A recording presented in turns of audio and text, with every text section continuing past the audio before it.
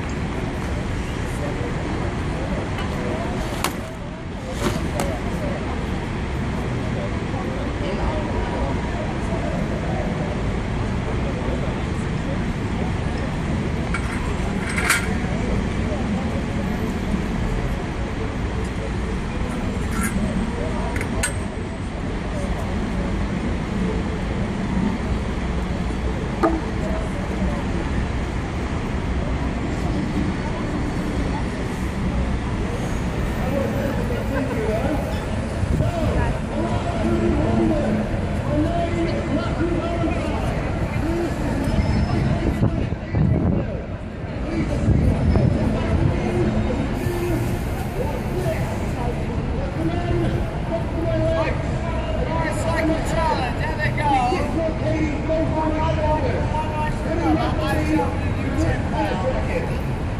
and gentlemen, guys, my hero,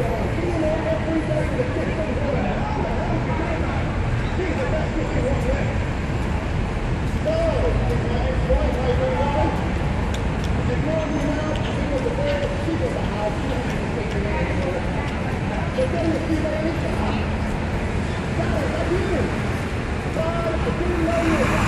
you